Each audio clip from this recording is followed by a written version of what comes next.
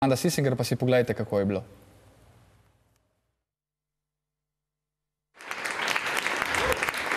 Za nami je drugi angliški večer na Ljubljanski Valdorski šoli, ki smo ga zaokrožili z verkinim ženskim pevskim zborom iz Northumberlanda, moškim pevskim zborom Janeza Kersnika iz Lukovice ter mešanim zborom učiteljev Valdorske šole. Kako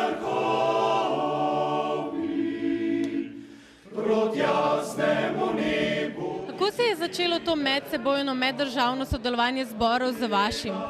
Ja, pravzaprav smo imeli, imamo nekaj prijateljev v Angliji in potem smo to s tem prešli na takšno zborovsko oziroma glasbeno sodelovanje. Um, uh, to je postala že kar tradicija, tako da je zdaj že nekaj zborov preko našega prijatelja Davida Burbiča, um, je prišlo v Slovenijo, v Ljubljano in na šolo, za kar smo sploh veseli. Zdaj je sicer tako, da je raven, da so počitnice, ampak vseeno smo naredili angliški večer, kot ponavadi. Um, pa tudi mi smo bili, zdaj nocoj bosta dva zbora, mislim, en moški zbor, ki smo bili mlad um, pri njih, medtem ko drugi zbor, zbor staršev in učiteljev Valdorske šole, je bil pa lani pri njih in zato je to eno, sam, eno samo veselje. No?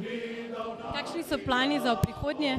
Oh, planov. Torej, um, mi imamo sicer še dosta različnih planov, ampak vendarle, kar se tiče um, Anglije, oh, la, la, ne, mi jih moramo še doreči, ampak mi kar vzamemo en paket, tole zdaj je nekaj za organizirati, nekaj za narediti, vsi smo um, navdušeni nad tem, da, da, da, da so prišli in da bomo imeli tale večer, potem pa, um, potem bomo pa nasnuli načrte za naprej.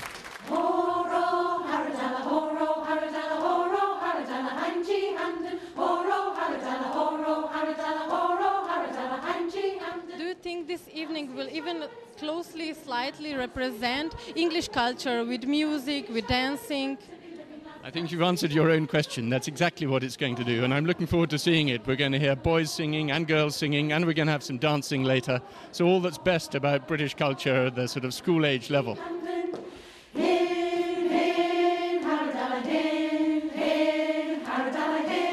How do you choose choirs for mutual exchange, and what is your decision based on?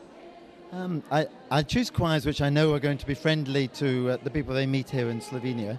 But also, many of our choirs in England now, I'm teaching them Slovenian songs like Teče mi teče, Nocoj po nocoj. And this choir have learned Stralica as well. So uh, um, that's how I choose them. By uh, I, I, like choirs who have an open heart, and uh, like Slovenian choirs, who I know will get on well with the singers here. Is this your first choir exchange with Slovenia?